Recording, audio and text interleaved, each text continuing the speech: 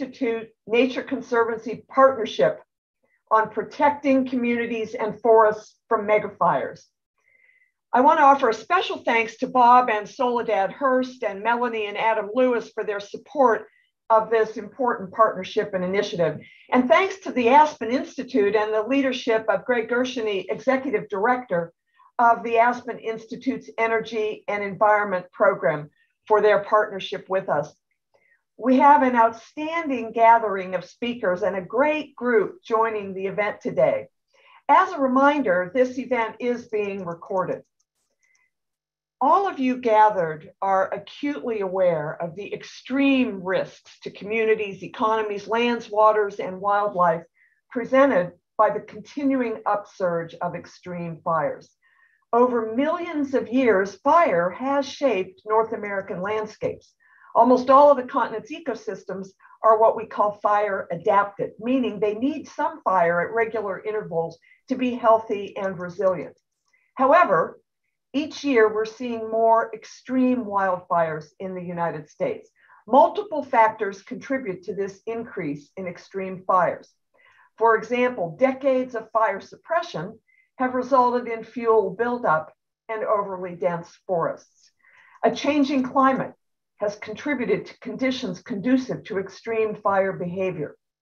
And of course, greater human wildfire interfaces have increased human fire ignitions. Costs from these fires include lives lost, communities displaced, farms and ranches destroyed, health adversely affected by air pollution, impacts to water quality and supply, and forest and soil carbon released into the atmosphere. These risks and harms are often disproportionately borne by historically underserved communities. These challenges are not confined to the West. Also in the South, we see risks of extreme wildland fires increasing. Without action, these trends will continue to worsen. A paradigm shift is needed to address imminent and longer term needs to enhance forest health, reduce risks to communities, and support the role of forests in addressing climate change. We need a composite of interconnected solutions that include substantially increasing investments in all forest and fire management programs. Solutions include applying a holistic approach across agencies and among federal, state, tribal, and local governments, as well as the private sector. Many investments in fire risk reduction and forest resilience will bring co benefits supporting community economic development, providing critical infrastructure protection, providing healthy watersheds and water supplies, and much, much more. This fire risk reduction and forest resilience work requires significant community engagement, planning and capacity building, and support from cities, counties, states, tribes, federal agencies, the private sector, land and infrastructure managers. Our focus is on how to scale up these efforts for transformational impact. The Nature Conservancy and the Aspen Institute are joining forces to convene leading and diverse voices over the coming year to gather expertise and input from a full range of participants to inform a set of recommendations for a comprehensive approach to improving wildfire resilience and therefore enhancing community safety and forest health. I'm delighted now to introduce Robert Hurst a trustee of the Hurst Foundation, who, along with Soledad Hurst and Melanie and Adam Lewis, is providing tremendous support for this initiative. Robert Hurst is a managing director of Crestview Partners.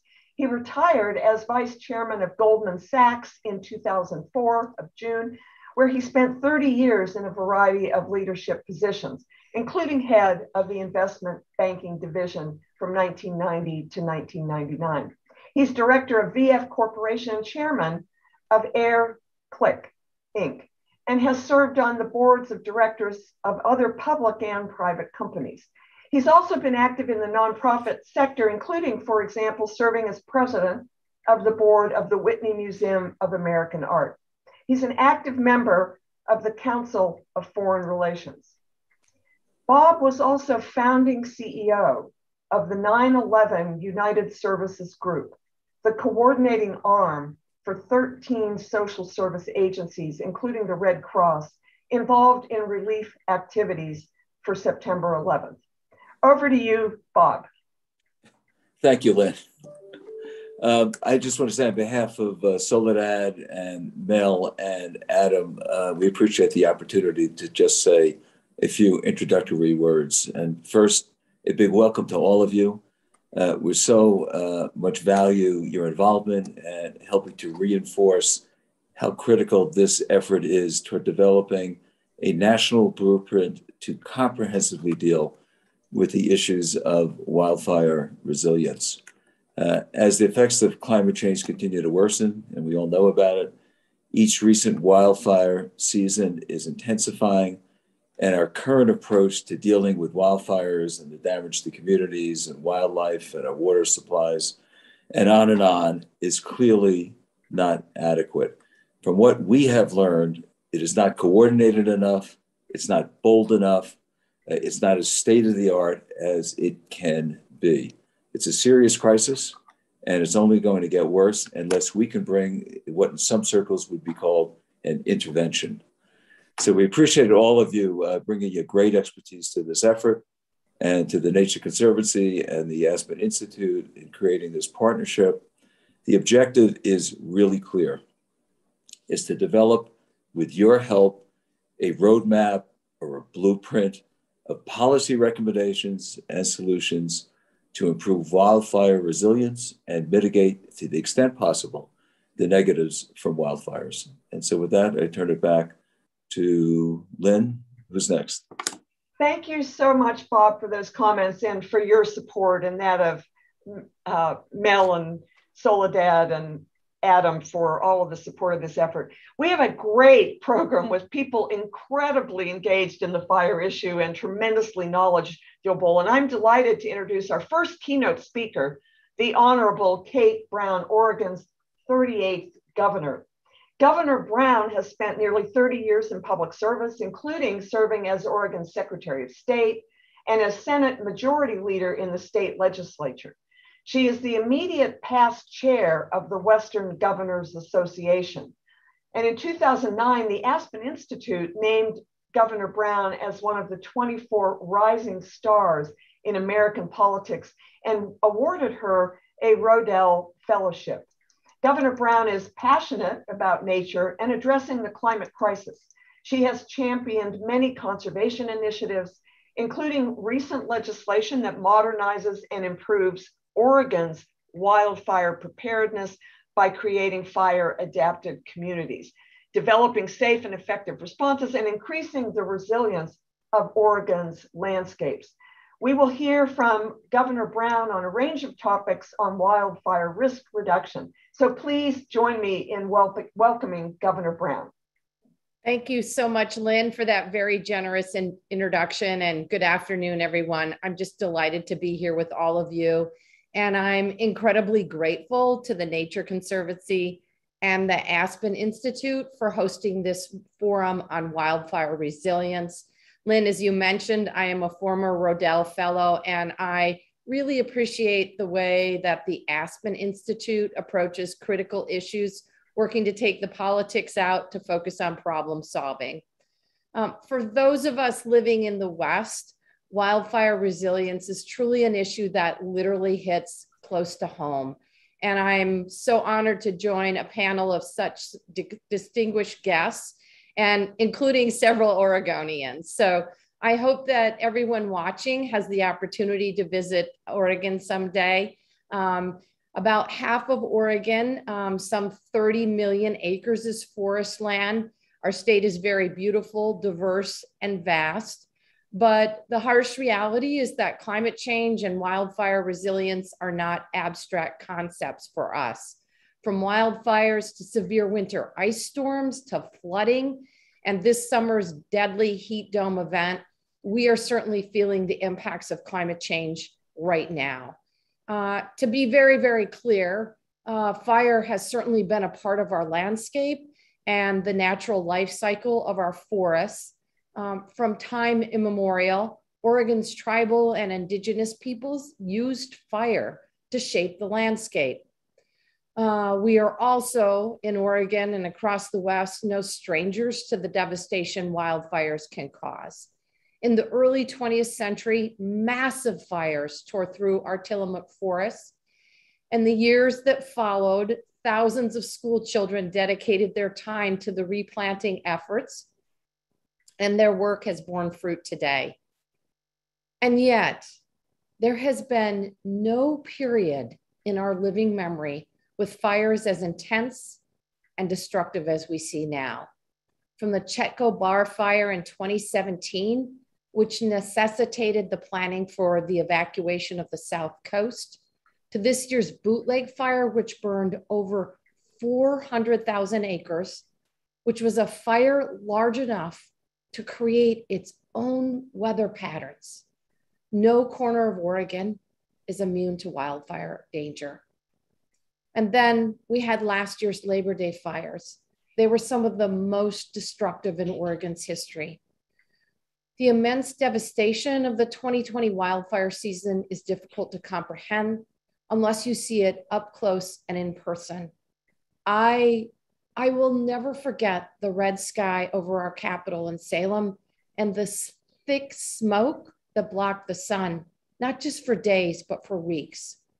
With a perfect storm of strong winds, high temperatures, and dry conditions, entire communities were destroyed overnight. We unfortunately lost nine lives, thousands of homes and structures. Many families were displaced, and many Oregonians are still struggling to rebuild what they lost over a year ago. And unfortunately, and far too often, with the impacts of climate change, disasters like these impact our communities of color, our low income communities, and our rural communities disproportionately. There is an interesting twist about the Labor Day fires in Oregon.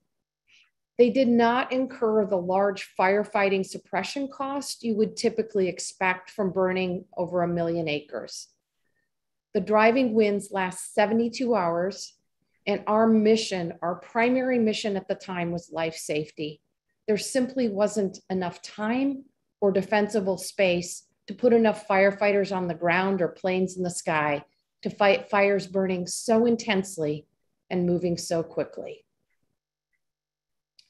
I think it's been clear in Oregon and most of the West for several years that we are fighting fires of a new age made more intense by the impacts of climate change while using the tools of the last century. That's why in 2019, I created a wildfire council, drawing on diverse membership with the goal to modernize both prevention and response efforts. The council's recommendations focused on a comprehensive approach. Number one, create fire adapted communities. Number two, fund safe and effective responses for our firefighters. And number three, invest in creating a resilient landscape. This year, Oregon passed comprehensive legislation based on the council's recommendation, investing over 220 million to modernize and improve our wildfire response and preparedness efforts. We know that for every dollar we spend on fire prevention, that investment is returned 11 fold and saved wildfire costs. And just to give you a little bit of perspective, the 220 million we invested is truly a drop in the bucket when compared to the estimated price tag of prevention efforts. We expect it will run into the billions. I'm certainly proud of the work we have done here in Oregon. We know that fires know no jurisdictional boundaries, and we cannot do this work alone. And so I'm also incredibly grateful for the partners we have in the Biden Harris administration. This partnership is critical as we work collaboratively to prepare for and respond to fire seasons that are longer, hotter, and, and more challenging. One partnership that my fellow governors and I are very excited about is called the Good Neighbor Authority. It invests federal dollars to create more opportunities for fuel reduction treatments on federal lands. It's truly a win win win um, that creates jobs and healthy landscapes while mitigating wildfire risk. I'm also incredibly grateful that the Biden Harris administration is addressing the impacts of drought and climate related disasters. I hope to see in the future that the federal government treat these disasters as emergencies with the same level of attention and urgency as they do hurricanes and flooding. Protecting human life, defending our communities, and restoring healthy forests, all while fighting climate change, are areas that Western states have shown bipartisan leadership. We can do even more if we continue to work towards collaborative solutions. I look forward to working with the Nature Conservancy and other groups in pioneering new strategies for forest health and resilience as we respond to the existential challenges that threaten not only this generation, but future generations. Thank you so much. And Lynn, back to you. Thank you so much, Governor Brown. And I see in themes in, in your remarks that really are going to recur throughout this, this uh, meeting today. The notion that this is an all hands on deck challenge, that communities must be engaged, states, tribes, the private sector, all of the above. So thank you so much for your leadership, leadership not only in Oregon itself, but across the nation and through the Western Governors Association and so many other venues. I'm, I'm now delighted to introduce our next keynote speaker, Tommy Beaudreau. Tommy is a friend.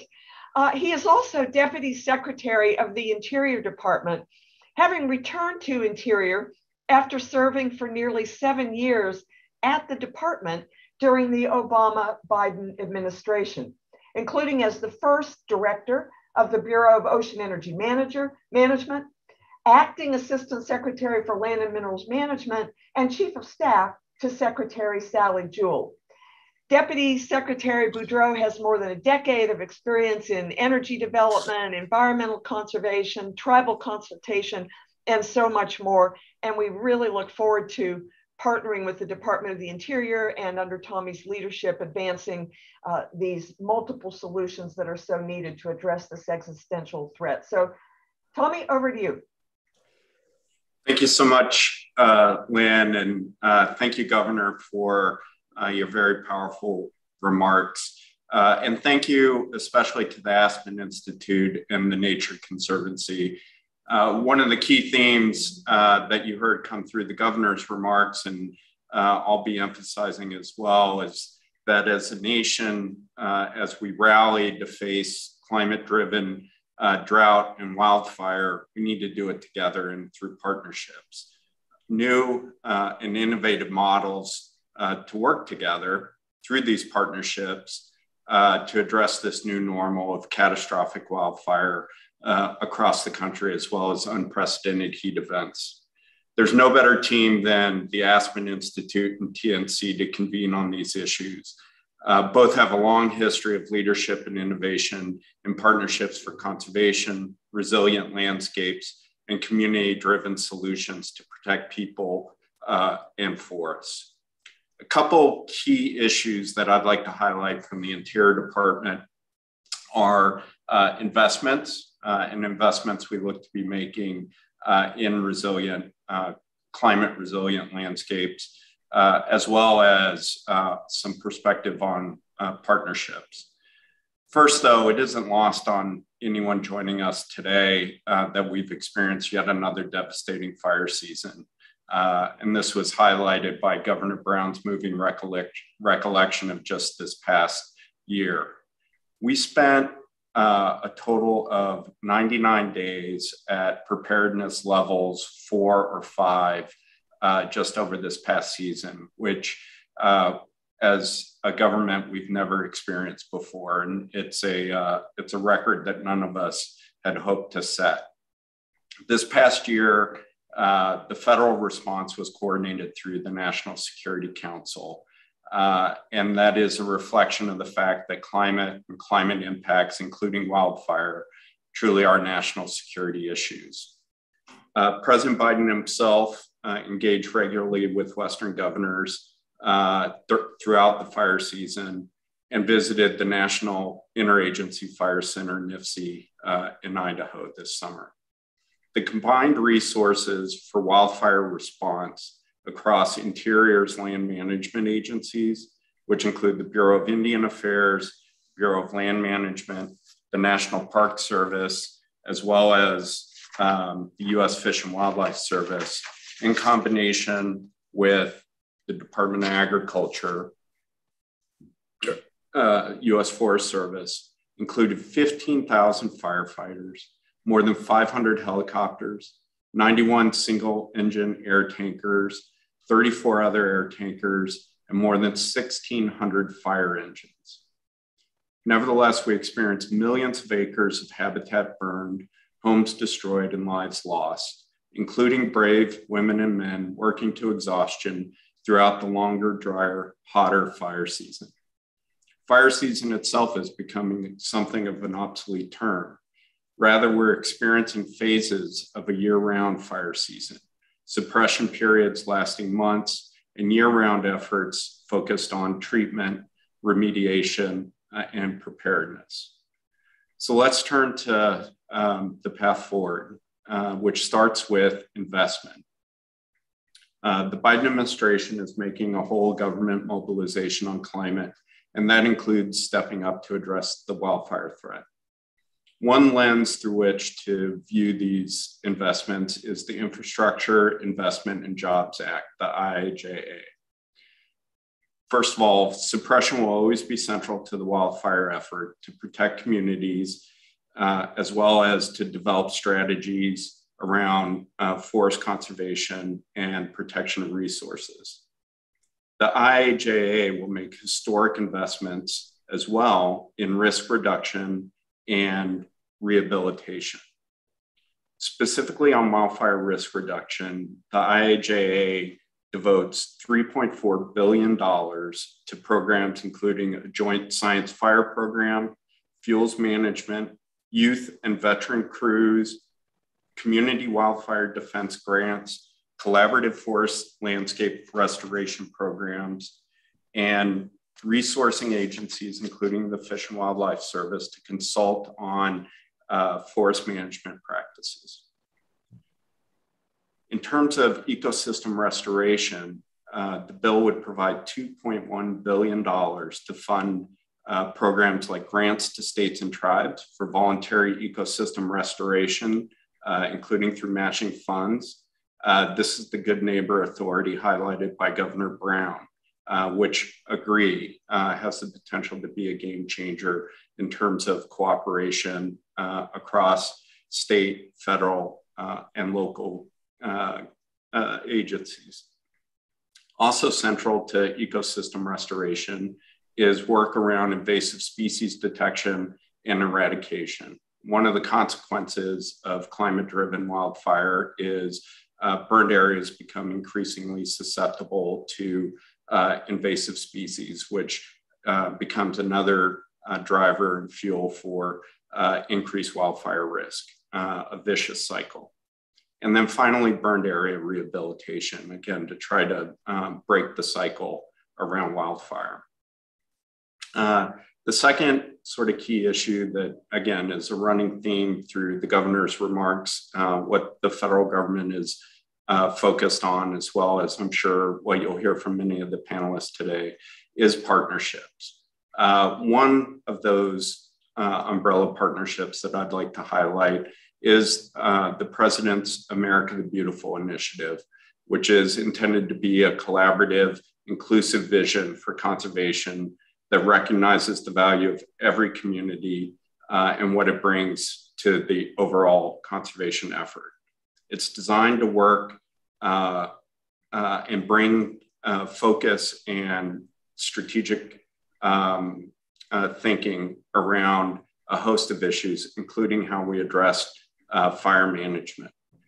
The initiative specifically recognizes that restoring forests through collaborative, locally led, incentive based practices creates jobs as well as reduces the threat cat- of catastrophic wildfire. The Interior Department will continue to leverage our valuable partnerships with state and local governments, tribes, nonprofits, and the private sector uh, to address and mitigate wildfire risk we have a lot to discuss and a lot of work to do together to deploy resources in a strategic, science driven, uh, and partnership driven way that protects communities and builds resiliency on rapidly changing landscapes. We hope to have the resources to do the job, but resources must be deployed. And the only way to do that effectively to meet the challenges we face is through these partnerships without limitation uh, due to jurisdictional boundaries or ownership patterns. This is why we need partnerships across government, agencies, NGOs, uh, and local communities. Uh, Lynn, thank you so much for convening this urgent discussion and congratulations on assembling such a remarkable, a remarkable group of leaders today. And I look forward to hearing what everyone has to say. Thank you so much, Deputy Secretary Beaudreau. And uh, we hear some additional themes that I think will recur through the discussions of our panelists. I really appreciate uh, Secretary Beaudreau your mentioning America the Beautiful. Uh, because sometimes we compartmentalize things and think fire is fire and conservation is conservation, invasive species is yet again something else. And what you have reminded us is that all of these things come together resilient and healthy and conserved landscapes, uh, combined with economic opportunities of the sort that Governor Brown mentioned, uh, addressing such matters as invasive species, all converge in the fire issue. Uh, so really appreciate those remarks and really appreciate the amount of effort that the Department of the Interior is putting into both uh, thinking about, but also deploying resources to work in partnerships to address these issues. That's another theme that is recurring, that of partnerships. I use the term all hands on deck, uh, and it truly is an all hands on deck issue. And that means we need those partnerships. We need that collaboration. We need those tools like the good neighbor policy that both Governor Brown and Deputy Secretary Beaudreau mentioned. So really appreciate uh, your comments and, and engagement. And I'd like now to turn to our first panel. We have a just a fantastic panel moderated by Amanda Paulson. And our panelists include David Hayes, who is now Special Assistant to the President for Climate Policy and a former Deputy Secretary of the Interior. Uh, we have also Hilary Franz, Washington State Commissioner of Public Lands, Don Gentry, Chairman of the Klamath Tribes, and Rita Hite, who is Executive Vice President for External Relations and Policy with the American Forest Foundation. As noted, our moderator is Amanda Paulson, and she is Special Projects Officer for the Bobolink Foundation. In that role, she helps shape foundation priorities, communications, and funding decisions on a variety of projects, including conservation work in the Amazon, in North American grasslands, and in a wide range of other biodiversity and conservation focused partnerships. Previously, Amanda spent 20 years as a staff writer for the Christian Science Monitor, writing for national news on, news on a wide variety of topics, including serving as the Midwest Bureau Chief, as an education reporter, and as the Monitor's science and environment reporter. So Amanda, over to you to guide this panel's discussion. Thanks, Lynn. Um, we have a great panel here today representing work at a number of different levels. Um, and we have limited time. So I'm gonna get right into introducing all of our panelists. Um, and after I introduce each of them, I'm gonna give them a few minutes to speak. We'll move on to the next person, and then we should hopefully have time for a few questions uh, after that.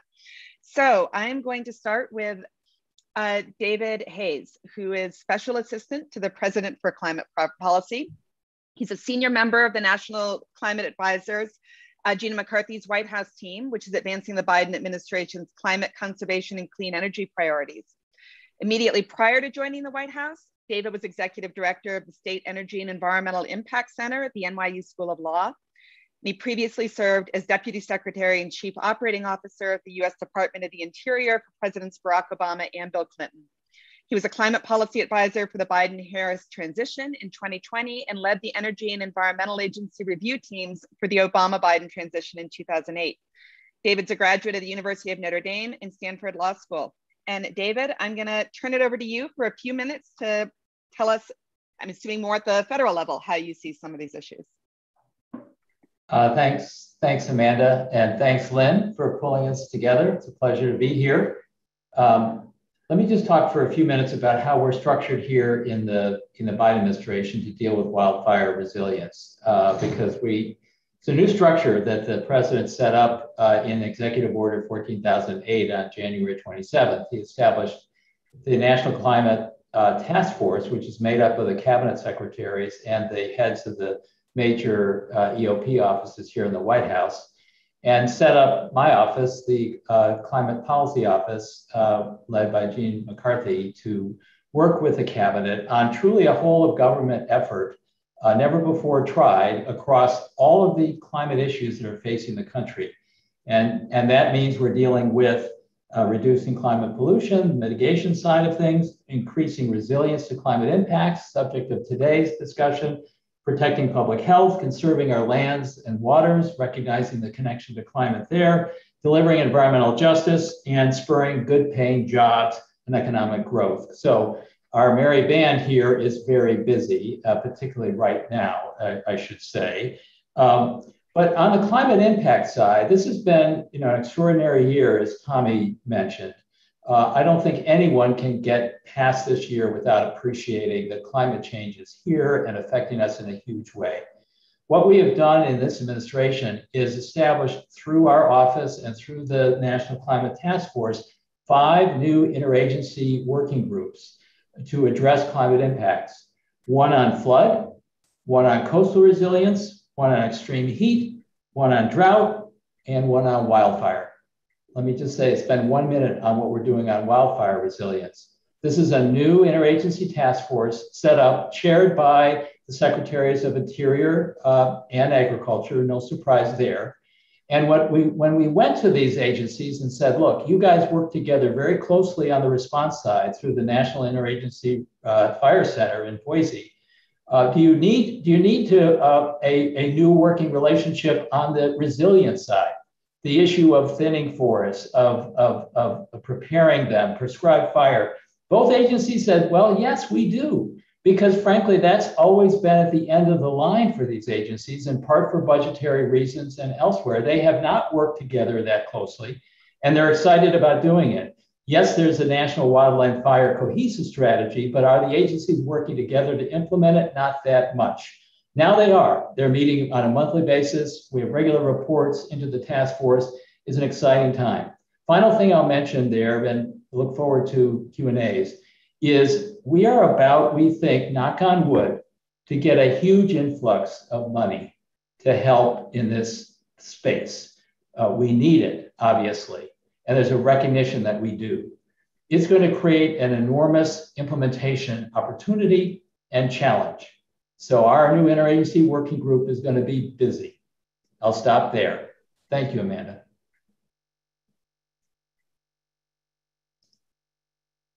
Sorry, forgot to unmute myself. Uh, thanks so much, David. Um, going to move on to the state level now with Commissioner Hilary Franz, who was elected in 2016. And in her role, protects and manages nearly 6 million acres of public lands in Washington state, from coastal waters and aquatic reserves to working forests and farms to commercial developments and recreation areas. She's also the leader of the state's largest wildfire fighting force, in order to restore wildfire um, resilience in our forests, Commissioner Franz developed a 20-year forest health strategic plan. This plan will make more than 1 million acres of forest healthier and more resilient to wildfires, a scale and pace that is unprecedented. And uh, Commissioner Franz, I assume you're now going to tell us a little bit more about that plan, and I'm looking forward to hearing about it. Great, thank you. It's a great honor to be here um, and be joining this great esteemed panel. Um, thank you for having me. When people think of the Pacific Northwest, our natural wonders immediately come to mind uh, snowy mountain peaks, rolling grasslands, the Puget Sound. And nothing is more fundamental in Washington state, however, than our forests. We are the evergreen state, after all. Our forests provide the air that sustains us, the shade that cools us, the materials that shelter us, and the jobs that feed us. But these life sustaining forests we depend on for so much are in trouble. In the rainy, cold, wet state of Washington, we're watching our forests die. This year, you can look at a wildfire map of the West and draw a trend line from Washington down to California. These fires are burning in forests filled with sick and dying trees, and we have a limited window to change this course. As Commissioner of Public Lands, I lead Washington State's wildfire fighting force, and every year I see firsthand the devastation these catastrophic fires inflict on our communities and on our environment. The forests turn to ash, the towns destroyed, the toxic smoke that clouds our skies, the lives tragically lost. Even the animals burned, including this year when I visited three black bear cubs who were horribly burned by a fire in central Washington. Every fire season, the devastation further illustrates a harsh reality that we need to manage our forests to restore their natural wildfire resistance, to reduce the fuel load, reduce the disease and infestation, and give our forests a fighting chance. That's why I launched a bold 20 year forest health strategic plan to start restoring the health of our highest risk forests, spanning state, federal, tribal, and private lands in all of Eastern Washington. The plan sets an unprecedented goal of restoring 1.25 million acres over the next 20 years, calling for us to treat approximately 70,000 acres of forest each year using mechanical thinning and prescribed burn, and being agnostic to property lines, since fire and disease are agnostic to property lines. Prescribed fire is a controlled way to burn away excess vegetation on the forest floor. It requires a lot of expertise and training to pull off, but it's a powerful tool to also protect our communities and bring forests back to health. Likewise, thinning procedures reduce the density of forests and weed out the dead, more flammable trees, slowing the spread of wildfire, but also putting them to use as building product. Now, earlier this year, we passed the most historic investment at the state level in wildfire response and forest restoration thanks to a major bipartisan effort. We passed it unanimously. When can you ever say unanimous in politics at any point in time? House Bill 1168 um, will now generate $500 million investment in wildfire response, forest health, and community resilience, something that none of us would have believed possible just a year ago. This funding will accelerate our existing forest health initiatives, hardening our forests against the flames on state, federal, and private and tribal lands. Since 2017, when we passed the plan, we've treated more than 320,000 acres of state and federal lands. We're more than 25% of the way to reaching that 1.25 million acre goal. Given the size, the number, and the geography of wildfires we're seeing, however, we have to go faster in scale. We have to go farther in area if we're going to reduce the threat of these fires and prevent the evergreen state turning charcoal black. So last year, after the Labor Day firestorms, after 620,000 acres burned in Washington, over a million acres burned in Oregon, I challenged my own team. We have to go faster. We need to move as fast as wildfire. How do we achieve that 20 year forest health plan in 10 years, not 20? On state lands, we are now double downing. We're increasing our pace and scale of our 20 year plan to achieve it in just 10 years. But we can't do it alone. Of that 2.7 million acres of forest in Eastern Washington alone that are dead and dying, 1.3 million acres of that is federal lands. We have the Good Neighbor Authority. We have the tools. We're doing as much as we possibly can as an agency, but we know no one single organization can accomplish the large scale change we need.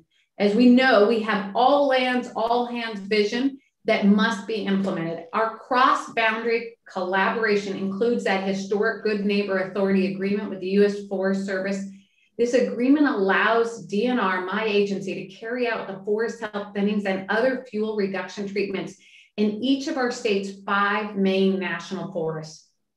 We signed that Good Neighbor Authority in March 2017, and we have been ramping up our work ever since. A thousand acres from 2017 to 2019, 7,500 acres from 2019 to 2020, and now 16,000 acres over the next two years. But frankly, we have got to go even faster. We're now sitting down with US Forest Service and setting clear targets in each of our key national forests. With the funding coming from the infrastructure bill, We want to partner closely so that we together jointly, state and federal agencies, can achieve the goals we need to on behalf of our own mission and mandate and on behalf of helping ensure that we keep the evergreen state evergreen, that we change the tide we're on of these catastrophic fires, and that we give our forests the fighting chance to fight them on their own, which they can do. Looking forward to working with each and every one of you to make progress on this historic moment and this heroic goal. Thank you. Thanks, Hilary. I'm going to move on to Don Gentry, who's been chairman of the Klamath Tribes, headquartered in Chiloquin, Oregon since 2013. And prior to being elected to the Klamath Tribal Council, Don worked for the Klamath Tribes Natural Resource Department for 25 years, where he served as the Klamath Tribes Natural Resource Specialist. Having been taught by his father to be a Klamath tribal hunter and fisherman, he is very knowledgeable about the forests, lakes, marshes, rivers, creeks, and fish and wildlife resources throughout South Central Oregon. Don worked for the US Forest Service on the Fremont Winema National Forest in 1973 to 1974 and 1981 to 1983 in fire control. Don, turning over to you. Uh, Waklisa, greetings. Uh, thank you for the opportunity to be here uh, is uh, tribal representative, I want to talk a little bit about uh, uh our specific uh, situation, but also want to do what I can to support tribes throughout the nation. And I have some thoughts about this. So I thank you for the opportunity. You know, it's important for us to be on the same page. Obviously, this was pointed out. It's pretty complex issue, you know, addressing climate change and all the impacts of uh, climate change on our forests and water availability, which we're in the throes of, uh, you know, you know, drought and in battles over water and fish. Uh, which is even related to forest health, you know, because the forests are so out of whack that not only affect hydrology, but affect uh, uh, the health of the forest and in uh, the current fire conditions and risks that we have. So I thought it would be real helpful to just uh, you know point out that each tribe in the nation is unique, has uh, unique standing. Uh, we're all connected to our, our homelands and use those lands uh, uh, for uh, hunting, fishing, trapping, gathering, cultural, religious practices, but also there's economic opportunity associated with those lands. Uh, in our case, uh, we're the Klamath, Modoc, and Paiute people, uh, three tribes collectively referred to as the Klamath Tribes of Oregon. We're at the headwaters of the Klamath River, uh, where the water flows out of the ground from springs and starts the tributaries into Klamath Lake, and then eventually into the Klamath River that in, enters into the mouth of uh, um, the Klamath River at uh, Requa, you know, at the ocean there in Northern California. So we're it's pretty important to consider uh, the impacts of uh, uh, forest management on you know, water availability, but also the fire risk that is so concerned. We were recently impacted negatively by the 242 fire that burned in, in our homeland in an area where we live. You know, it's right off Highway 97 north of Chiloquin, where our headquarters are. And then uh, the bootleg fire that burnt uh, about 25% of our treaty rights area uh, and then burnt out into our traditional homeland and had a negative impact on the whole watershed here and really concerned about nutrient input from erosion coming into our streams. But uh, with that, I just wanted to point out, um, you know, it's really important. Uh, I really appreciate representative from uh, uh representatives from this current administration. You know, uh, we uh, often we have a lot of contact and communication with folks in the Department of Interior, but you know, the trust obligation to meet the tribe's needs, you know, you know falls within the full federal government you know with our treaty tribes. And so it's important you know from the highest levels of the administration to really uh, consult and coordinate with affected tribes on forest management uh, that affects fires and forest health and and hydrology and, and treaty resources that are important to all of us. So I think it's really important to you know break out of those silos. And uh, you know, in our case, uh, a lot of the land is managed by uh, uh the uh, the Forest Service, which is in the Department of Agriculture. And uh, but we also have water rights and treaty rights. There's BLM land under Interior. we also have the state lands and then private lands. So it gets pretty complex, as was pointed out earlier uh, about how to effectively uh, address things at the watershed management scale. So I, I just wanted to point out it's important to have good coordination and support uh, from administration all through and, and whenever uh, we need to come together to figure out what's uh, best to do to move forward with managing the forests and, and reduce fire risk uh, is really necessary. That even includes um, building the capacity for the tribes to be involved. You know, we uh, we're we're federally terminated. We were terminated. We ceded 20 million acres of our land to the federal government for the benefit of U.S. citizens and secured the land. And according to uh, you know, but uh, the tragic history of the Klamath tribes, we eventually lost our lands and we're exercising rights, uh, uh, court affirmed rights within our 1954 treaty boundary area, the area that we had at the time of termination.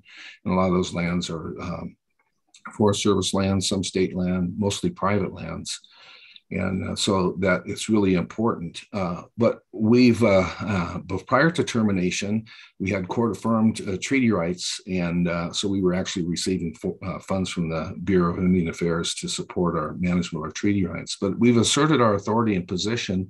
We now have a partnership with the Forest Service after years of timber sale appeals and litigation, you know, when folks were business as usual as getting the cutout and it wasn't a, a, addressing our concerns. But uh, what I wanted to say that's really important for uh, tribes, I believe this is universal against tribes uh, across the nation here, uh, that uh, we need to build our capacity to be co-managers of lands that affect us and we need that financial support to, to do that. We have plans on uh, uh, healthy forest management. We have a forest management plan that's state of the art, you know, that applies here in our east side uh, uh, uh Cascade uh, High Desert fringe area, forest area that applies. But we haven't had the capacity to really be fully involved in doing not only addressing impacts from fires, but also being more proactive uh, to uh, develop treatments, you know, that are consistent with our forest plan, which we believe will improve the forest resiliency, risk to fire, and address hydrology and all the other habitat concerns that affect our resources. So uh, it's important for that. And I'm just so encouraged that, you know, with the infrastructure bill, even uh, funding in ARPA, uh, there's state funding available, you know, when we're talking about building fire resilient communities that we can tap into. And we've actually had uh, really great support from non governmental entities to help us secure funds to do some treatments. And it actually was a lot easier to deal with those folks to, uh, you know, you know, try to address impacts of the fire than looking for federal funds. We have folks that have given us funds directly to hire uh, cultural resource folks to do surveys before activities. We're surveying damage, looking at uh, erosion risk, and partnering with the Forest Service, uh, Green Diamond, a large timber uh, uh, owner and manager in the area, and uh, also um, the Nature Conservancy. You know, that's part of the reason why we were connected here because of our positive relationship with them, and it's been building and developing. So I just wanted to make those uh, things known that we need to be supported. Uh, we need to build our capacity. We need support from uh, the highest levels of administration on down so we can work beyond the silos within the federal government and also work with the state agencies and continue to work with uh, uh, the nonprofits, the NGOs, uh, such as uh, Nature Conservancy and other entities that have supported us. And we have such a positive relationship with Nature Conservancy. So I really appreciate the opportunity to speak generally. Hopefully, I didn't take too much time, but be willing to take questions. Uh, I just thought that'd be the most effective way to start out. It just, you know, with what I shared. So thank you. Thanks, Don. And finally, um, I'm going to introduce Rita Hite, who is currently serving as Executive Vice President of External Relations and Policy at the American Forest Foundation. Uh, in this role, she leads the foundation's positioning, external relationships, and public policy strategy. But on January 1st, Rita will assume the position of President and CEO of the American Forest Foundation. In her 20 year career in forest conservation, Rita staffed congressional leaders on the House Committee on Agriculture, built and curated coalitions and partnerships, including the Forest Climate Working Group, the uh, Women's Forest Congress, and served as a nonprofit uh, leader. Rita, turn this over to you, and then hopefully we'll have a few minutes for discussion at the end. And I'm hearing we may be able to extend this panel by about five extra minutes too, because I know we're starting to run short on time. Thanks, Amanda. Thanks for the introduction, and I'll keep my remarks brief. Um, a little bit about the American Forest Foundation for those of you that aren't familiar with us.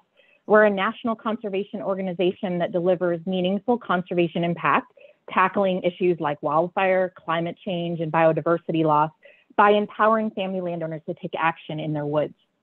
And when it comes to wildfire, empowering family landowners is a critical piece of the puzzle because wildfires know no boundaries. A number of folks have already said that today. Just a couple of statistics to put in your head. So if, if there's roughly around 50 million acres of high fire risk um, acres in, in the West, over a third of those are owned by families and individuals. And the Forest Service estimates that fire risk posed to structures, for example, largely comes from non-federal lands, and about 50% of that risk comes from private lands.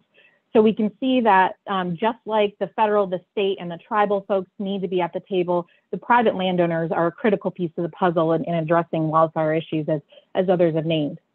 What's also important to note is family landowners can and want to address wildfire, but they can't do it alone. I think that's a common theme we've heard here today as well. And let me just um, give an example of, of, of, Harold Stimson, a family landowner um, in California. He owns 16 acres in a high fire risk area and he couldn't do his work alone. So what we did is we worked with him to partner with a number of uh, landowners adjacent to him so that they could actually create a viable fuels reduction project and he could get the work done. Harold is one of thousands of family landowners we're working with across the West and that need help. And today we have more than 500,000 acres of family land family lands in the pipeline ready to do fuels treatment. But there's a number of barriers standing in the way cost is a key barrier. We've heard, a, we'll hear a lot about that, I think. Um, knowledge and experience is a really important issue for family landowners, and that nine out of 10 family landowners in the West have little to no experience managing their land. Again, they want to do the right thing, they are good stewards, but they need help. Another key barrier is a lack of a landscape strategy and consistent shared priorities. You might think that sounds like a government or a um, you know, an, an, issue for, for governments and, and, organizations, but it's a very important issue for family landowners because if they take action on their lands, but their neighbors, either public or private, don't, they know their, vest, their investment likely means little. So they're less likely to take action if there isn't that landscape strategy. So just a couple things I'll highlight that um, we think are essential to empowering family landowners to take action on, on wildfire. Again, these strategic shared landscape priorities that we can all focus on because none of us can do this alone.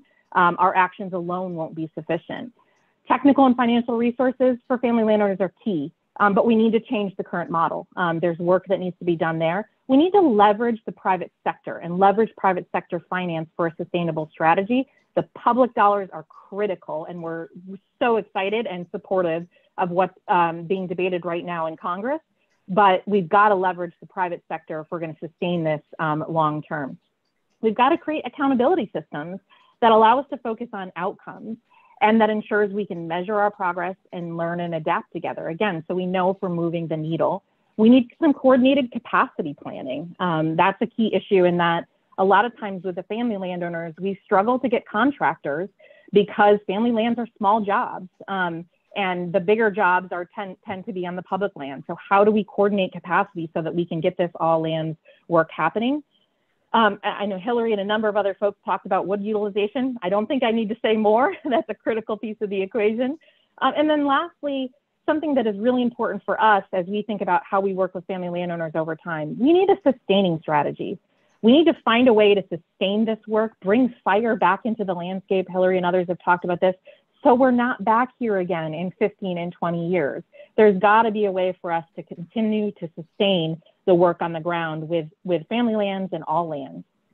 So thank you um, for the opportunity um, to be with you all. We're pleased to be part of this discussion because it's important that governments, communities, corporations, and all types of landowners, large and small, public and private, tribal, act together on wildfire resilience. So thank you um, for the opportunity.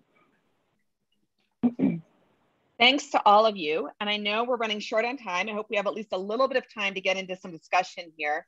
Um, you know, all of you have spoken about the need to work together with partners um, and different stakeholders and different levels of government to address this enormous challenge.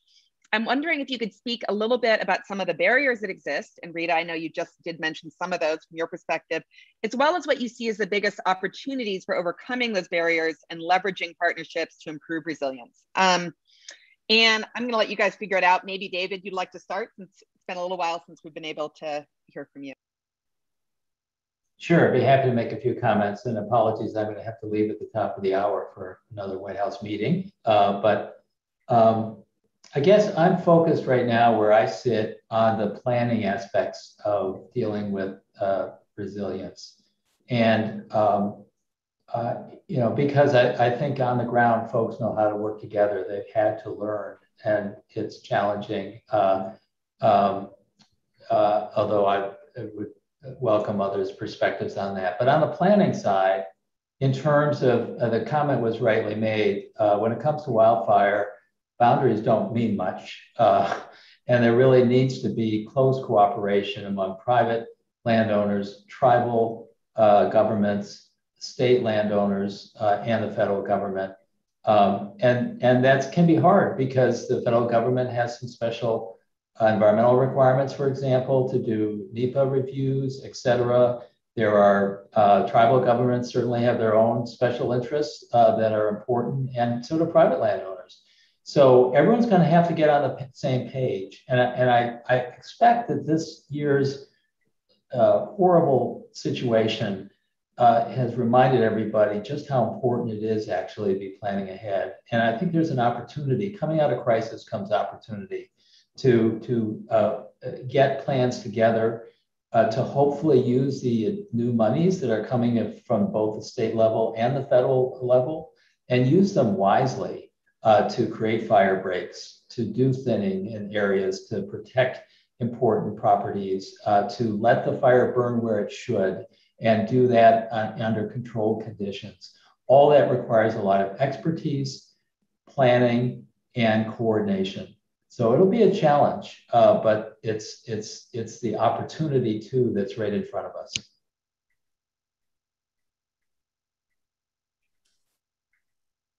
Thanks, David. Um, Hilary, or Rita, or Don, do you want to address this topic at all in terms of the um, both the barriers to some of this work together, as well as maybe opportunities that you're hoping as you go forward? Yeah, so I'll start. I think, you know, each land sort of owner has its own challenges and barriers. I mean, I think I feel very fortunate to be able to be managing sort of state lands and being able to set a very clear call to action and use my voice and my position to show that we've got to move aggressively forward and that actually it is on the best uh, for the environment and for our communities. Um, we will leverage that. I think some of our challenge when it comes to private landowners is they're very disparate. We have, they all come from different backgrounds. Some are reluctant about the government, some embrace the government, some don't know what to do, when to do it, some don't know about available resources. And so it's one by one by one trying to reach out to 8 million acres owned by private landowners. That's a struggle, but we are building a broad campaign um, and I think we will be very successful in that sort of broad effort.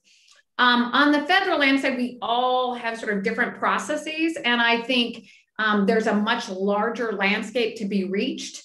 Um, with very significant public input on multiple different sides that the federal governments have to be really listening to. Um, what I'm hoping for is that by leveraging sort of the profile we have created of the urgency of this and the crisis of it, that it will help build a broader support for all of those landowners coming together and feeling they're working sort of concerted together and will have each other's back as things go wrong or as issues rise um, and I am only hope at this point because I think we've come to that moment that we've been building to of urgency, of crisis, and of education engagement of the public. Um, and I think the last thing we're going to need more than anything before, besides working collaboratively together, is courage, courage, courage, courage, courage, courage. Thank you. I'm wondering as we wrap up in the last few minutes, David, I know you have to leave. Thank you so much. Um, Don and Rita, you know, this is such a um, overwhelming and daunting and often really depressing topic. Are there any bright spots that you see going forward or anything that gives you hope about our ability to um, manage for wildfire resilience? If I could, uh, yeah, I really appreciate you know, just the way that we're looking at this holistically. I think uh, we need to have, uh, and we had some recent success in working with the Forest Service, uh, private land uh, owners, Nature Conservancy, and Green Diamond, which are mostly most significantly affected by the fire, but also pointed out some of the obstacles. I think what we need perhaps is some kind of a, a, a real uh, a proactive effort to bring uh, affected communities together to look at this, whether it's maybe a, a state initiative that could pull the Forest Service, BLM, private landowners together to, to strategize and even have discussions and try to address where, where the obstacles are. And there are some solutions, uh, you know, if we, if we all focus on that. So I'm hoping we could get there. And we had recent success in uh, uh trying to move forward best we can. And then we're, know we're building on that with those uh, entities uh, uh, significantly impacting our area of concern. So uh, there's a bright spot there, but I also wanted to interject. To, you know, you know, maybe a solution is a more proactive effort, perhaps by the states, you know, to bring folks collectively together to address these issues. Yeah, and, and I would agree. I think there's a lot of momentum um, happening right now. I think the other thing I would add, and, and this goes to, to Hilary's point, um, you know, the, the, the pri private lands and family lands are very disparate. Um, you know, there, there's a, a, whole host of owners. Every single one of them has different goals and objectives. Um, but again, there are hundreds of thousands of heralds um, who actually want to take action, regardless of their political stripes, frankly, regardless if they're managing for timber or if they're managing for um, habitat or air or whatever they're managing to, there is a whole host of family landowners that want to take action. And I think we're, we're seeing more and more momentum um, from that. I mean, 500,000 acres in the pipeline um, is, is a lot of acres if you think about the fact that their, you know, average acreage is about 80 acres. Um, so that's a lot of people. Mm-hmm. Um, and, you know, there's, there's huge potential here. I think it's, you know, and we're starting to see the political will and the collaboration start to happen because again, the common theme here we can't take action alone. That's one of the biggest barriers. We need to have strategic priorities that we share and that we focus on together. Um, and but but our, i think the hope that we see is you know there's there's family landowners that are that are that are ready and primed regardless of where they come from and their political stripes and and they're ready to take action Thank you. And thanks so much to all of you. I know we've already gone a little bit over, so I'm going to turn it back over to Lynn at this point. Um, a huge thanks to you guys for uh, joining us and for everyone who's attending. Lynn, over to you. Thank you so much, Amanda. And thanks to that really terrific panel.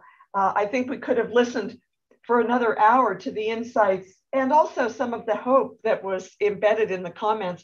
You know, we, we often hear that the challenges of addressing the wildland fire um, issues require more resources, more resources. And that is true. And we heard that from panelists. But we've also heard a couple of other important themes. One, that the action has to be durable, sustained, and holistic. Landscape in scale, all landowners and managers, and also that predicate of good planning and capacity building, that all of those have to come together to get the sorts of durable and sustained solutions that we need. Now we are going to move with that landscape scale focus to the next panel, uh, looking at wildfire resilience at a landscape scale. And the panelists include Jaelith Hall Rivera, who is Associate Deputy Chief of State and Private Forestry at the Forest Service, uh, and I apologize if I have not pronounced that correctly, Director of Federal Affairs with Allstate, Lyle Laverty, former Assistant Secretary of the Interior for Fish, Wildlife, and Parks, and our moderator is Cassandra Moseley. Cassandra is Interim Vice President of Research and Innovation at the University of Oregon. She directs the Office of Research and Innovation and serves as the, as the university's chief research officer. She joined the university in 2001, has a distinguished career as a scientific and uh, academic professional. She's a research professor in the Institute for Sustainable Environment and has a particular focus on how natural resource policies affect rural communities, businesses, and workers, a topic very interconnected to the fire issues we're discussing. She studies the changing face of wildfire management in the West. So Uh, over to you, Cassandra, to do a deeper introduction of the panelists and then go into our discussion. Great, thank you so much. This has been really uh, interesting so far today, and I'm looking forward to our next panel, which is focused on uh, landscape scale wildfire resilience management. And I'm going to be sort of brief on the, the bios because I think uh, our panelists have a lot of interesting things to say, and we want to make sure we save some time for Q&A at the, at the end. So I'm going to dive right in and introduce uh, Hall Rivera, which uh, Lynn uh, already said is that she is the um, Deputy uh, Chief of uh, State and Private Forestry at the U.S. Forest Service. In this role, uh, uh, provides executive oversight to the agency's wildland fire program and the programs that serve state and private landowners, uh, the Office of Tribal Relations, um, the Forest Health Program, the Conservation Education, and the Gray Towers National Historic Monument, a very small and focused portfolio. So Jaelith, if you could spend a couple of minutes, focus uh, two or three minutes on our questions around landscape scale uh, wildfire resilience management, that would be great. And then we'll walk through the, our, the rest of our panel. Okay, great. Thank you, Cass. Uh, really appreciate being a part of this panel today and really appreciate TNC and the Aspen Institute, you know, for putting this together. And, you know, uh, I'll just say as partners in the wildland fire system, we're all anchored to the cohesive strategy and to the goals of the cohesive strategy, safe and effective response, resilient landscapes, and fire adapted communities. That's been an anchor for all of us for years.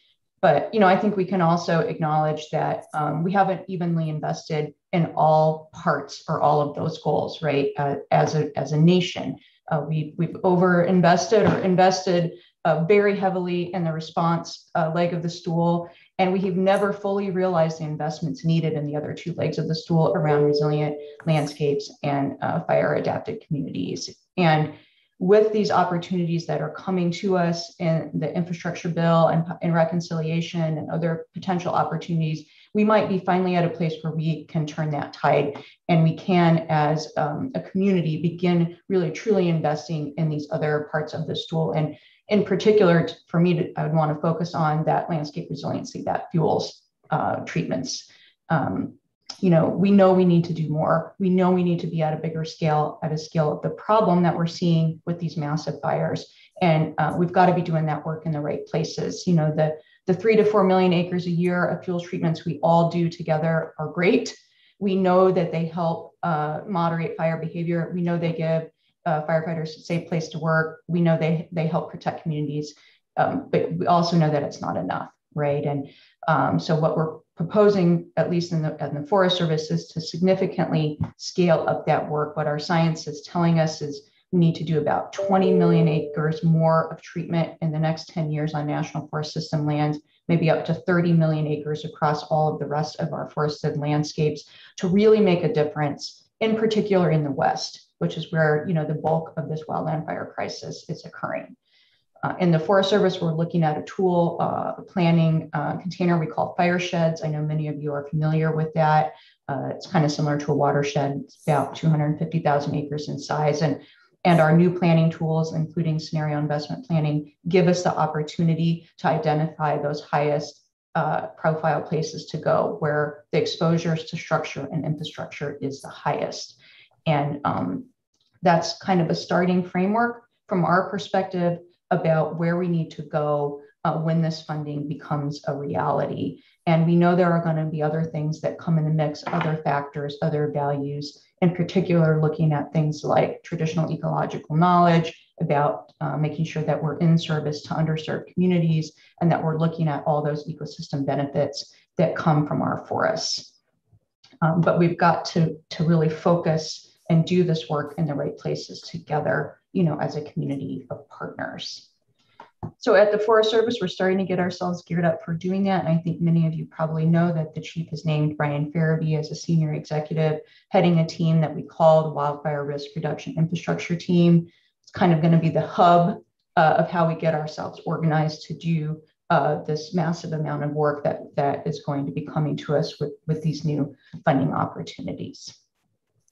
So, you know, uh, I know I have limited time, so I'll just close by saying, like a lot of you, I've been doing this work for a long time, you know, and I have never seen this level of focus and attention uh, on investments that we need in our forested landscapes to truly make a difference. And we are on the precipice, right, of um, a historical change, the, the biggest thing to happen in our lives, in our world, maybe since the National Fire Plan. And so it's really, really exciting. And I'm really gratified to, to be able to be a part of that with all of you. Um, we know there's going to be challenges, right? And I and I know that TNC and the Aspen Institute have opened, you know, this dialogue to help us surface some of those capacity challenges, probably being the most acute. And Cass, you're you're well familiar with those. Uh, we need more people to do this work in the woods. We need more people who have prescribed fire credentials. We need markets for all of this timber. And, um, you know, we, we need a culture shift, at least I can say that in the Forest Service, in terms of how we think about funding and where we put funding. You know, um, it's not a little bit for everybody.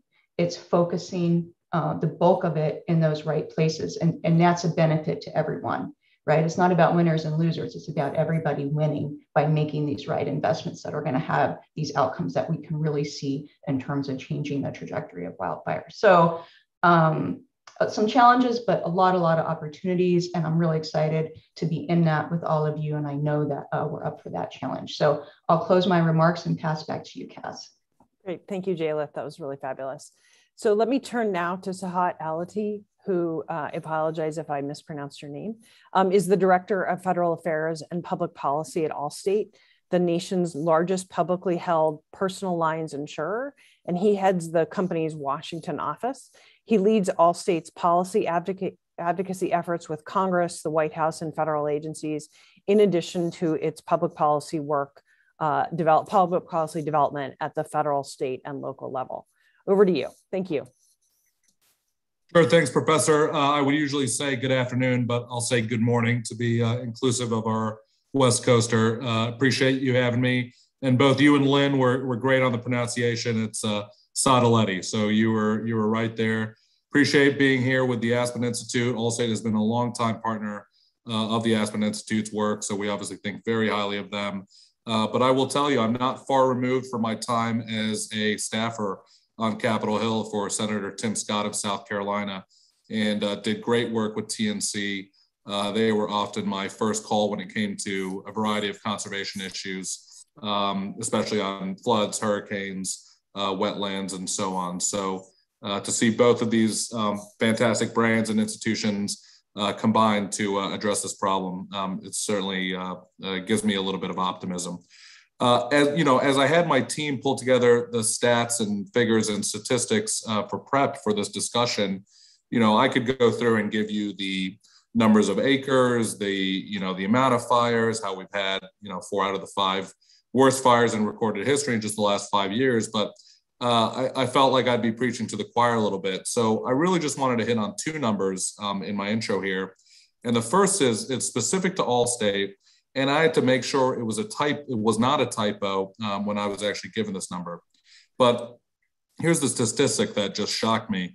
Uh, from the first half of the past decade, so 2011 to 2015, uh, in comparison to the second half of the decade, 2016 uh, through 2021, Wildfire losses at Allstate have increased by 1,665%.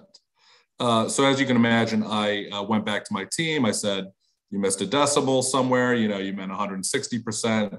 Uh, you surely can't be telling me that losses have increased uh, from this five-year period to the last by 16 times.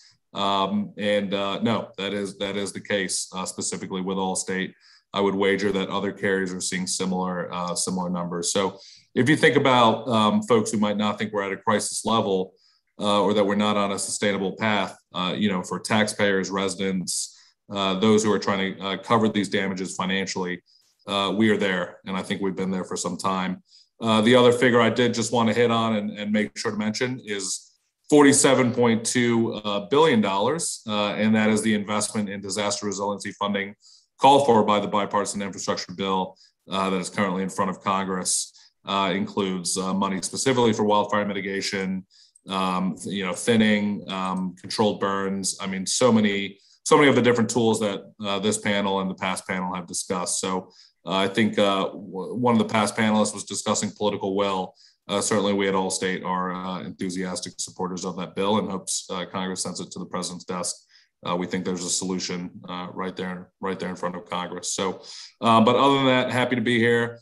Uh, you know, we at Allstate we're certainly not the forest management uh, experts in comparison uh, to the other panelists I, I, I, have the honor of speaking with today, but we are certainly well versed in the financial and human toll um, that these wildfires have had on our communities. So, thanks so much for having me. Thank you so much. Um, and let me turn it over now to the Honorable uh, Lyle Laverty, who is a former uh, Assistant Secretary to the Interior, a Senate confirmed position when he worked under uh, President George W. Bush in, in the early 2000s or mid 2000s. Um, he oversaw at that time the National Park Service, the U US Fish and Wildlife Service, and prior to serving as director, prior to that, he served as the director of Colorado State Parks and as associate deputy chief in the US Forest Service, which is possibly when I first met him. That's a long time ago. We've been at this a really long time, as Jaelith pointed out. Okay, over to you, Lyle. Good to see you. And I'm glad you worked out your technology. Uh, thanks, Cass and, and Lynn. It's so good to see you as well. It's uh, it just it really is a great honor just to be able to be part of this conversation, and it's uh, it's such a timely uh, subject. And I'll, I'll, share kind of my perspectives with uh, some of the historical piece, at least my connection with when we started the uh, first cohesive strategy almost 20, 20 years ago. When we we put that together and we identified at that time that there were about uh, 30 million acres at high risk. And uh, today that number has jumped up to uh, probably close to 90 million acres that we have across the country uh, that's at, at high risk of, of, wildfire damage. And I'll, I'll, share with you some perspectives from Colorado. I've been working with some landowners uh, on some restoration and recovery from, from one of our fires last summer. We, we, we had three fires in Colorado that uh, exceeded 200,000 acres. That's the first time in recorded history that we've had fires of that magnitude here in Colorado. Uh, the, the Cameron Peak fire, it, it started in August and it burned until it was contained in December, burned 208,000 acres. And there was one period of, of burning from September 4th to September 7th. I think those are the dates. It burned 78,000 acres in that that uh, 72 hour burning period. So I want to take you on the math to understand the urgency of why this uh, conversation is so important. That, that burned about a thousand acres an hour. So if you continue to drill down on what that means, that's probably burning one football field every four and a half seconds. So if you, if you can just begin to imagine the intensity of what we were uh, putting firefighters, why, it, it causes such grief. Yeah, and so the the forest health issue becomes such a critical part of this conversation. And I think as we look at, you know, my my my mantra has been healthy forests or healthy communities. And healthy communities, we have healthy watersheds. So all these pieces come together on, on the urgency. And Jayla, I think, uh, just you know, really articulated well that uh, the urgency that, that, we've got to take on. We, we, we put together some, some information uh, several years ago with the uh, Colorado legislature talking about the, the, forest health situation we have here in Colorado. And at that period of time, let me get my numbers here if I can share this with you. Our, our net, our growth uh, yield on our forests in Colorado was 119 million cubic feet. The mortality was 260 million cubic feet. So the, the net, net result is that we were in deficit on forest growth in Colorado by almost 130, 140 million cubic feet. So it, it's um, it's a real challenge when you begin looking at the forest health conditions that we have not only here in Colorado, but, but across the whole interior West. So the, the idea of how do we increase pace and scale becomes, I think, really the fundamental elements of, of the conversation. And I'm really looking forward to, to having the opportunity to explore ideas. And I, I think, you know, certainly with the agent, with the Forest Service, the, the fact that we've been spending so much of our investment on suppression costs, and we've not been able to be in the position to, to do some of the work that needs to be done to create some of these resiliencies. Cameron Peak Fire, suppression costs were in the neighborhood of $130 million, and the kind of loss of structures were probably in the neighborhood of $130 million as well. That doesn't do anything to count the watershed impacts that we've had you know, across that uh, 208,000 acres. So that, that was just one fire. And the East Troublesome, uh, did exactly the same kind of thing. You know, had to evacuate the whole town of Estes Park. It has 20,000 people. So, you know, it's a, it's a huge impact. So uh, th- this is such a timely, timely subject. And I, am I'm, uh, I'm really delighted, Lynn, that uh, the Nature Conservancy is linking with the Aspen Institute to begin exploring, you know, how do we make the breakthrough to, to make this significant change? So, Cass, I'll turn it back to you. Thank you so much. That, that was a really informative opening uh, set of remarks from every, everyone. And so let me turn to some questions. And I have a really long list, um, but uh, we so we will not get through all them. But uh, because you know that's what professors do is ask questions. Um, so Jay, let me start with you. Uh, you know, you talked in in uh, in your remarks around the importance of organizing capacity and being science driven. Um, but we also, particularly, we heard in the panel uh, before before you got on about the importance of multiple landowners and lots of collaboration. And so, I just wanted to uh, learn a little bit more about how the agency is thinking about um, the, the, the the sort of next phase of, of collaboration. Um, that you know you work with state and, and local governments through the uh, you know shared stewardship. There's a long and then there's a very long history of local collaborations. And so i just wanted you to talk a little bit more about how you're thinking about that piece of the puzzle as as as we enter this next phase. Yeah sure. Absolutely. Thanks for that question cass. And um, you know i think it's absolutely imperative that that we just name that um, we are going to be building on that history of collaboration right? We have shared stewardship, we have collaboratives, we have CFLRP, we have joint chiefs, we have 20 years of experiments and, and experiences in, in this world that we're going to be building on in terms of delivering where we need to go in the next decade right with assuming that we get this substantial increase in funding. And and it's you know i kind of view it as a little bit of a balancing act.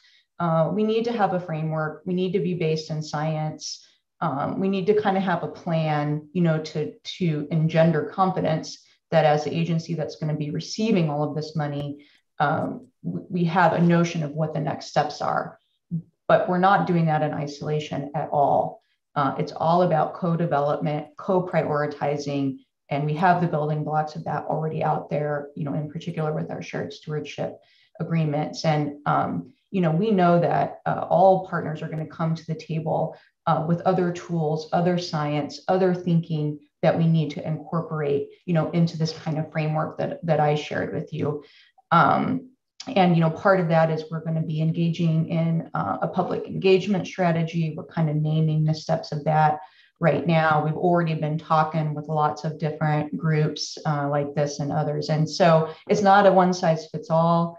It's not, you know, we're not coming into this with a fully formed plan. It's kind of like we have we have science, we have tools, and we have a framework. And how can we come together and um, and you know, and the reality is too. I think it's important to say there's going to be a lot of expectations on all of us that we move out pretty quickly once we get this money right? And so we got to have a short term strategy. What are we going to do and say, like the first 30 days, the first uh, 90 days, the first year. And that's probably going to be pretty dependent on projects that are already in the hopper that are pretty much already collaboratively designed. And then what are we going to do in the out years together too? So that's another important, um, you know, way that we're going to be incorporating collaboration.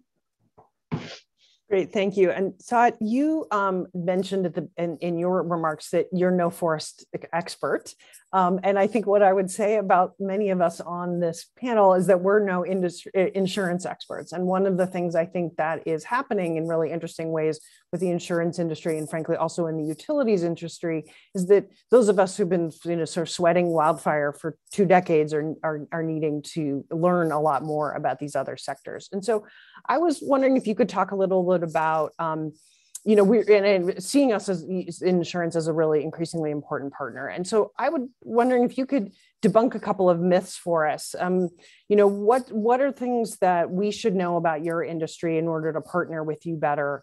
And, and really, um, you know, where should every all these partners that JLS just referred to, federal, state, local partners, what do we need to understand about you to advance uh, resilient solutions in partnership with the insurance industry? Sure, happy to address that. And unlike with my college professors, I will not uh, duck your question. I suppose uh, you know the the myth being that insurers are are bad or bad actors in the system. I mean, I think you put it best, right? We want to be partners with policyholders, residents, communities. Uh, if there's no one around to insure, that's that's not great for insurers, right? I mean, we we we need that and want to be there for these communities. You know, I think number one, and and I got to pick on California in particular. Obviously, the West is is the biggest problem when it comes to this. And, you know, specifically California plays an outsized role in, in what we've been seeing in wildfires and financial and human damage. The regulatory environment is important. And I think California needs to make a lot of changes there. Uh, you got to credit the commissioner uh, in the state. He's, he's readily admitted that. The legislature got uh, close this time around, but when it comes to being able to use uh, models that take into account climate change, that's something that we have an issue with in California when it comes to pricing in the purchase of reinsurance uh, into our rate setting. That is something that we cannot do in California, or even when it comes to um, being able to set prices at an actuarially sound uh, level. And ultimately, for a competitive and thriving insurance market to be present, um, price has to be coupled with risk. And I think there have been, you know, some elements in this debate that have suggested we move the other direction. But I think ultimately that's going to be important to having um, insurers uh, stand as a partner. The other thing I'll mention, uh, Professor, to, to, answer your question, you know, the Wall Street Journal uh, did a piece just earlier this year on, I'm sorry, earlier this week on the 22nd on rising cost of homeowners insurance around uh, around the country, and obviously, excuse me, there's there's multiple factors that are going into that: price of labor, supply shortage um, issues. You know, no one no one is immune to that right now. Um, but you know, the piece referenced the growing wildfires and financial damage from uh, uh, natural disasters. Well, the, the article covered a, a, a couple whose uh, premiums had annually gone up to $5,000 and they lived in Florida. They underwent mitigation um, spending. They raised their utilities. I mean, they ended up spending, uh, I think the article quotes at about $3,000. Uh, for those mitigation measures, which then dropped their annual premium $3,000. So the couple is quoted as literally this these mitigation efforts paid for themselves in one year um, for those homeowners. So, you know, when you're talking about partnering with local, state, federal government, mitigation, mitigation, mitigation. Um, obviously, wildfire is different than hurricanes and floods, but uh, I think some of the same principles that that article outlined uh, can be at play. And the insurance uh, industry, just like we are with the wildfire partners in Colorado, uh, I think we want to be active partners in those programs. Great, thank you. Um, so let me turn to Lyle. You talked a lot about your work specifically in Colorado, but I want to uh, take you back to the fact that you've been the leader of many state and federal organizations and been in the room either when very difficult decisions around fire suppression have needed to be made or have made them yourself so, you know, building on that experience and what we're kind of facing now, how do you think about the uh, how we go forward to to manage uh, wildfire for resource benefits? You know, under the right conditions. Um, you know, is that is that a tool in the toolbox? How do we, if you think it's it's the eh, the right tool, um, you know, how do we make it a tool more often? Um, as we go forward in this sort of increasingly complicated and, and perilous fire environment. Great question. I saved you the hard. I, I, I gave the other one two softballs, and I figured I'd give you the hard one. Uh, oh gosh, I, you know, it, it really is. Um, it, it's a wicked issue, and um, the challenge that we have, you know, certainly across the interior West, is we have such unnatural fuel conditions that finding that right right condition when you can in fact put that um, that fire on the landscape to, to do what needs to be done. And you know, I, am a real advocate that we've got to be able to do some some proactive work before we can start putting some of that fire on the landscape. Um, you know, we, we've we've seen example after example where we, we've had fire on the landscape and all of a sudden it gets away from us and we have these catastrophic disasters and we, we just can't do that anymore. So, you know, I, I'm a I'm a real advocate that we need to be making some investments on the landscape right now so that we can, in fact, put fire back on the landscape. We know that fire can do a good job for us, and we've seen example after example where that where that does work, but it has to be under those right conditions. And when you when you look at what, what we've experienced just here in Denver this last summer, we were in smoke probably I, I want to say 100 days or maybe more than that. Uh, you know, smoke from the west, and you know there's big public health issues. So all those things have to factor into that that equation. So uh, that's a great question, and it, it's one that we need lots of time to have a conversation about. Yep, for absolutely for sure. So thank you for taking a swing at that. And I've been given an extra couple of minutes of reprieve here, so I'm going to ask Jaelith one last question, and then we'll wrap up, which is a similar question, actually. I was wondering if you could talk a little bit. I know the Forest Service has been increasingly focused on how to increase prescribed fire as a tool in the toolkit. And could you talk a little bit about the, the work that you've been doing to make it easier to get uh, good fire on the ground in a, in a prescribed fire environment? Sure, yeah, I'd be happy to. Thanks for, for that question. Um, you know, I think the biggest thing that we've been doing um, is working together with our partners at EPA and CDC to really um, help kind of break through some of those challenges that have, have been there over the years about um, this using this tool. And um, you know getting um, the regulators the air regulators folks that deal with public health uh, us interior kind of on the same page and um, so we have, you know, um, we just put out a whole bunch of materials, communications materials. We've been kind of engaged in a little bit of a campaign. We have air resource advisors, which are people that come out to fires and advise, you know, about smoke and managing smoke, both for for wildland fires, but they do it in prescribed fires too. And we have we train people from CDC and EPA to be in those roles. And so that's been a really critical breakthrough, I think, is to, to get that kind of all of government support for expanding this tool. Uh, you know, other work that we've been doing is just to try to f- provide that backing and support to our line officers and to our fire managers who are making these difficult choices. You know, um, trying to provide the right environment, uh, even if we're in, um, say, a pretty challenging fire season, but some places have the right windows. Let's, we try to really provide that leadership backing and support for people to use that tool. And, um, and also just kind of getting the word out there, you know, about needing to have more fire, um, kind of like Lyle said. And I just, I know this wasn't a question that you asked me, but, you know, um, fire as a tool, prescribed fire is really, really critical, but we have to use managed fire as well and it, you know it's got to be in the right place it's got to be in the right time and i couldn't agree with lyle more. We've got to get our landscapes in a place where they can you know be ready for it first. But you know i also just want to acknowledge that it, it's um it's controversial and it it it creates a lot of concern for people and generates a lot of heartburn and even some anger you know uh, that that when the federal agencies use this tool or people have a perception that we're not being uh, aggressive that we're letting fires burn, that we're purposely putting communities at risk. And you know, I just think it's important that we be upfront about that because that's that is in our system.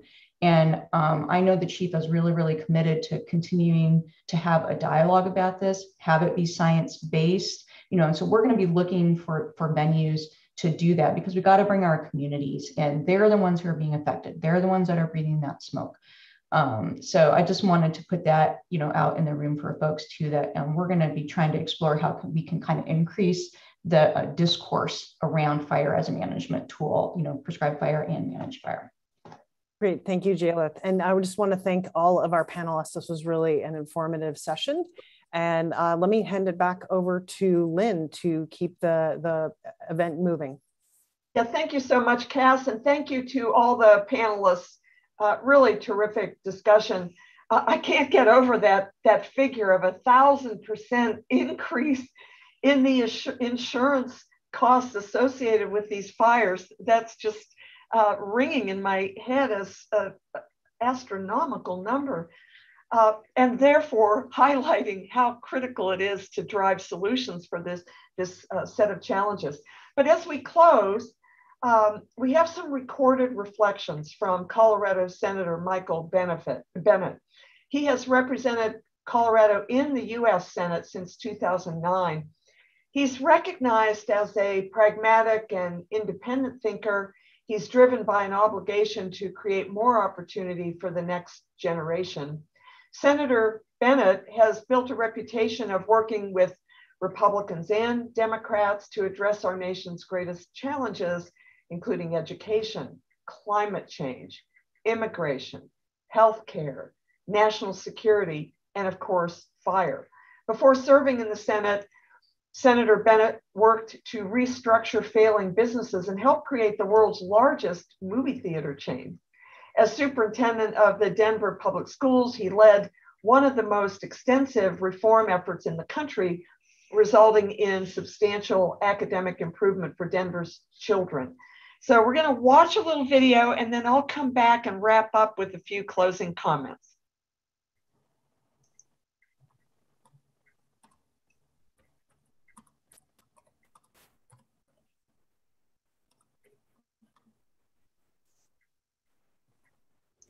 Hi, everybody. It's Michael Bennet, and I'm grateful for the chance to share a few words with you today. But most important, I'm grateful for the group you've gathered to identify and advance solutions to the challenge of wildfires in the West. As all of you know, three of the largest wildfires in Colorado's history all happened last year. And even though we were lucky in Colorado this year, fires from other states have blanketed the country and my state in smoke. Wildfires come at a terrible cost to state and local governments, our health and well being, and communities across the Mountain West. They affect every part of our economy small businesses and water utilities, outdoor recreation, and farmers and ranchers. And for decades, Washington's approach has been penny wise and pound foolish. After a century of fire suppression and decades with a cash strapped Forest Service, we ought to invest in our forests and grasslands to build resilience and reduce the risk of catastrophic wildfires and protect our water.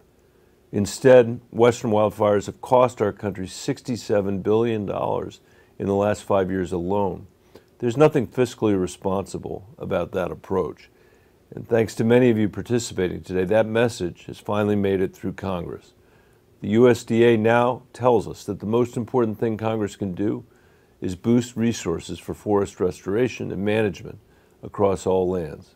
And that's why, as we started to work on an infrastructure package earlier this year, I introduced a bill to invest tens of billions of dollars to restore our forests, protect our watersheds, and build resilience in partnership with states, tribes, utilities, and landowners. I've told Senate Majority Leader Chuck Schumer that our forests and watersheds are as important to our economy in the West as the Lincoln Tunnel is to New York, maybe more so. And I'm hopeful that over the next few weeks, we'll get this once in a generation investment over the finish line. After that, our work won't stop. We'll still need to figure out how to build local capacity, grow the forest workforce, and find markets for low value wood. I've worked on many of these topics over the last decade as a member of the Senate Agriculture Committee and chair of the Forestry, Conservation, and Climate Subcommittee. There, we've written two bipartisan farm bills that created new tools like Good Neighbor Authority and the Water Source Protection Program and reauthorized CFLRP. And we have another opportunity ahead with the 2023 Farm Bill just around the corner. And that's why I'm so grateful for the conversation you're having today and in the months to come. I look forward to following your conversations, hearing your recommendations, and carrying them forward here in Washington. The work you are doing is vital for our economy, our health, and our well being in the West. We have a moral responsibility to leave more resilient forests, cleaner air, better water, and a stronger economy for our kids and grandkids. And I'm confident that by working together, we can make progress toward that end. So thank you a big thank you to Senator Bennet for his leadership on this issue and so many others, and his focus on problem solving and trying to bring problem solving to the fire arena. Senator Bennet's comments captured the essence of the challenge, why it is so critical to all of America, our health, communities, economies, forests and grasslands, conservation and climate. Indeed, he suggests it is even a moral imperative. It's encouraging to me to see the heightened focus of the nation, the Congress, tribes, states, local governments, and the private sector on what is needed to address the challenges of extreme fires.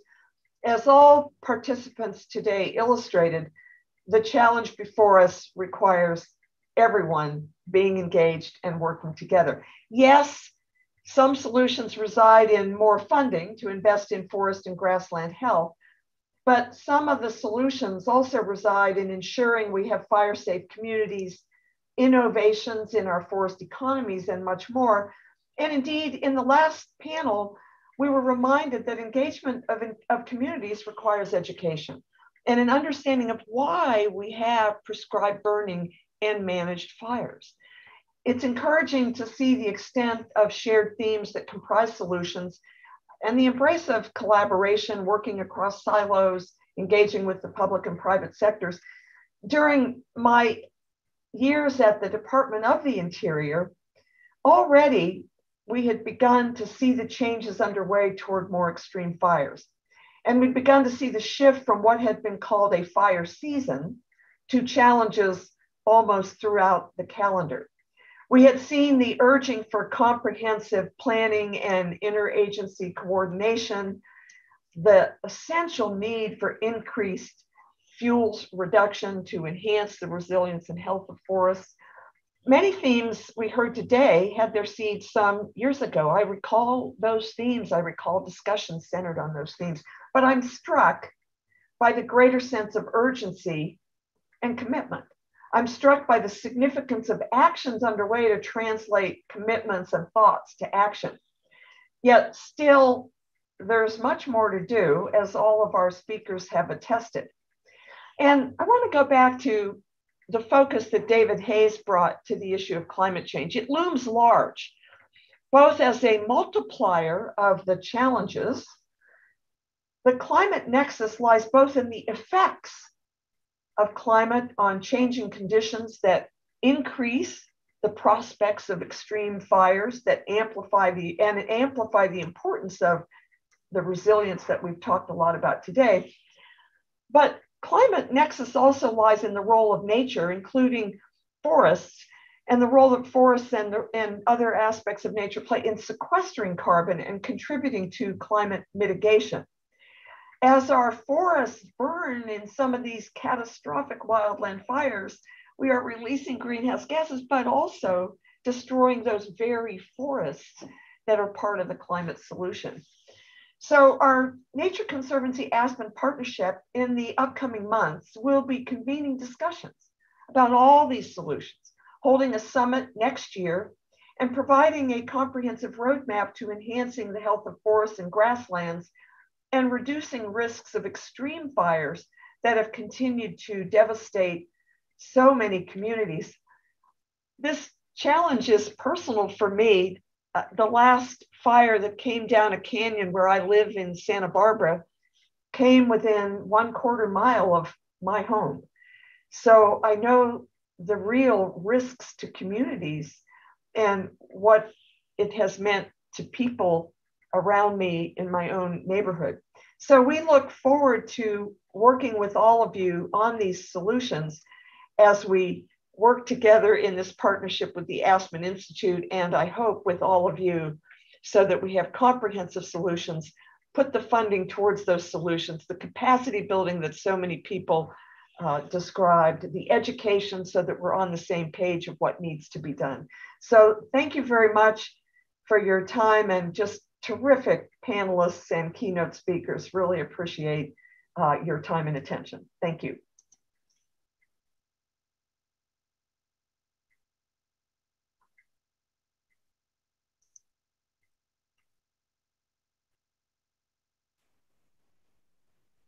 Thanks, Lynn. It was